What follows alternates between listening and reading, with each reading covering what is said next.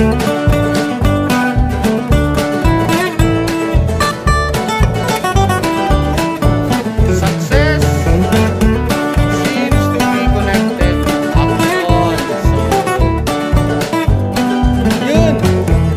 Hi, ma'am! Yun, so andito ako sa English department sa school. So, ikot ko muna. Andito yung mga English teachers. Hi, ma'am! Hi, sir. Yun, gumaganda si mama. Parang may sikreto ka, mama. Yun. Hello. Welcome sa Aris TV. Yan. Yun, dito yung kasama ko sa MAPE. So, umiikot kami. Hi, ma'am. Yun. Hindi na tayo maka-jogging sa athletic. Okay. So, ma'am, ah, meron kang ano, meron kang gustong ah, sabihin sa parents ano kasi nagbigay tayo ng mga ah, modules. Opo. So, ginagawa natin ito para yung information, yung mga tanong nila, at least kahit papano matulungan natin yung office ano. So, si Ma'am English ah, teacher, you can speak in English or ano ah, Tagalog na lang po, sir. Tagalog. So, tutulungan tayo, ano? So, si ma'am pala subscriber natin. Tama So, po yan. thank you. Nagpa-follow siya sa channel natin. So, si ma'am, explain niya yung ibabalik ma'am, ano? Opo, yung pagbalik ng module. Pagbalik ng module. So, sige ma'am, please uh, explain nyo, uh, sabihan nyo yung mga parents, students natin, kung anong gagawin sa module pagbalik. Okay, so uh, good morning po parents. So, ito po yung na-receive natin ano, mula sa grade 7. So, nakita po natin, nandyan yung pangalan, no? Pag open po natin, ang sabi po namin doon sa instruction na nabigay, tanggalin po ito and then idikit dito sa folder na dinala ninyo sa amin. Pag naidikit na po ito, so, ayan na po, ganito na po yung itsura. So, itatabi po natin. So, ano naman po yung laman nito pagkabalik dito sa City High? So, ito pong form na to, ano po ba ito? Co- COVID Pre-Entry Health Declaration Form. So, sino po yung sasagot nito? Ito po yung ating mga anak, estudyante. So, pangalan po nila ito, address, age, mobile number, year, and section. So, dito po yung usual na tinatanong din po ba sa mga COVID triage na station po. So, ito po yung ah, Sasagutin ng estudyante po, ma'am, di ba? Okay. Kasi may nagme-message na parent po ba yung sasagot? So, student po yung ilalagay dyan. Okay? Ayan po, so tapos na po ito. Kung nasagutan na, ilagay na po sa envelope. And then next po, ito po sa uh, form from the guidance office, validating feelings and normalization, uh, normali norm- normalizing reactions. Ito po. So, medyo hindi po kasi ano, clear ito. I, ano ko na po, uh, ibasa ko na lang po ito. It says here, worried, scared, angry, and numb sa guidance office po ito. So sila na po yung bahala mag-interpret. Again, sa ating mga anak po ito at hindi po sa parent. Last Yun. name po muna, first name, grade and section. Yes. So pag na-accomplish na rin po ito, lagay na rin po natin dito sa envelope. Yan, ma'am, survey lang, ano? Walang ano sa grade niya or Wala score? Wala. Oh, so, Survey survey lang po yon. Okay, next po, ah, yung ating mga modules naman. Dito po kasi sa ating mga modules, may kasama po or may kalakip na answer sheets. So dito po sa mate, ayan. Ang answer sheet po ay nasa likod, naka-attach po dito, naka-staple po. Dito naman sa ibang subjects, katulad po ng ah, ng uh, values or edukasyon sa pagpapakatao, nakahiwalay po. Pero uh, kasunod naman po ng module. Ganun din po sa Filipino. At saka sa English at Science, naka-insert po. Tandaan po natin sa grade 7 module po ito, no? Sa English po naka-insert. Sa kunin na lang po natin. So ito pong mga key answers, ito po yung sasagutan ng mga bata. Diyan po. Pagkatapos po nilang masagutan lahat ito, ito po ang ating ilalagay. Wala po ito ha, walo po. Kasi walang, walong subjects. So, Eight subjects, Yes. oh. Parents, pakicheck po natin kung may 8 po ba na laman yung ating ah, ah, module. May 8 po ba na laman na key answers. Lagay po natin sa ating mm, envelope. Learning Ayan. Packet envelope. Opo. Yun. Ito pong module, maiwan po sa anak natin. Kung maaari po sana, hayaan natin silang sagutin yan, i-transfer na lang yung, yung sagot nila sa T-answer.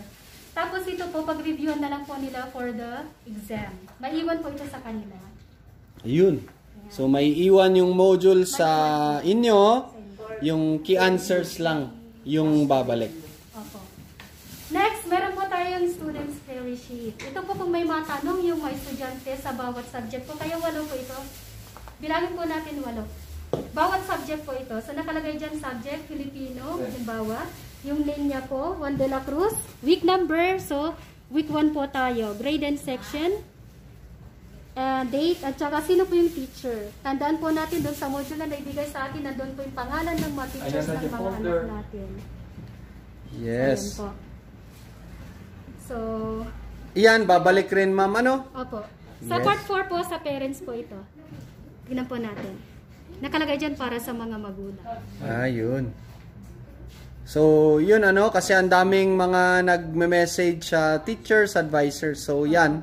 Sasagutin, tapos ibabalik ma'am ano? Opo. Para makita rin ng teacher at doon din po niya sasagutin yung ating mga tanong kung hindi man natin na ipost sa GC or sa hindi man natin na i-text at least alam alam po ng teacher kung ma-receive niya ito. Alam niya po kung ano hindi natin naintindihan at alam po niya kung saan po nag-excel or alin yung mas naintindihan ng bata. Yun. So kasama po ito, walo po ito. Yun. Babalik din po dito sa ah, school. Lagay natin sa envelope. And then next ito, Individual Learners Progress Report. Tayo pong mga parents ang mag-fill in nito. Hmm, Nakalagay po rito, accomplished by, to be accomplished by parents and guardian, and must be returned together with the answer sheets. So may nakalagay po dyan na task number. So kasali po yung pre-assessment. Tignan po natin dito ha. Ayan. Pre-assessment, yan po yung una. Ilalagay natin dyan. Kinompleto po ba ng anak natin? Check C kung nakompleto na nasagutan. Kung hindi, write INC. Incomplete po. And then, initial. Ngayon, syempre, nakita natin mga parent na hindi niya kinompleto, sabihin na lang natin or guide natin sila na kompletohin yung pagsagot sa module. So, ayan po. Next activity na naman po. So, ito po, makakatulong sa ating mga parents para makita rin natin kung nasagot nga ba ng ating mga anak or hindi. Kung nakita natin INC, pakumpleto na po natin.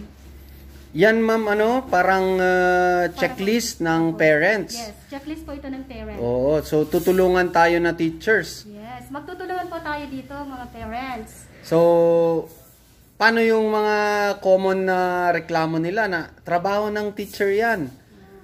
Hindi naman ano, parang para mag-guide namin yung mga bata with your support na parents kasi nga kayo yung andyan. So, yan ba yun? Yan yung ano? Opo. Yun. Para rin po, maano natin, matrack natin mga parents na syempre, alam, sinagutan ng anak ko. Tapos bakit wala siyang score? O at least may, ah, may ano po tayo na nakita natin. At andyan namin yung initial natin, isang pipirma tayo. Nakita natin na nasagutan ng bata. Yun. So, pipirma yung... Dito po sa initial. Yan.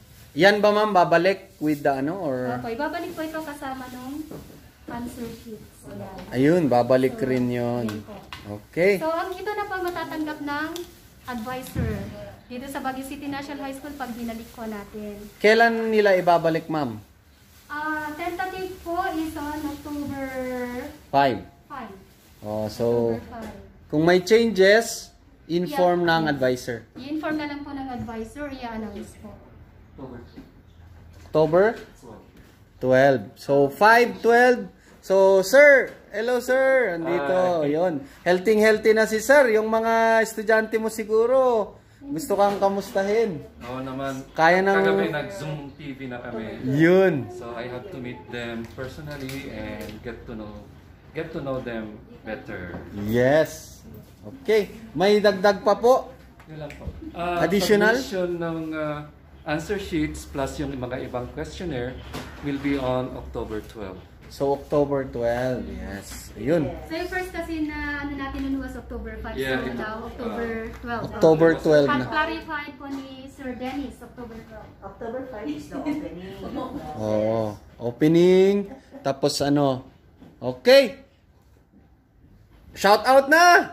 Sinong gusto mong batiin, ma'am? Oh, hello po sa lahat ng parents natin dito sa City High.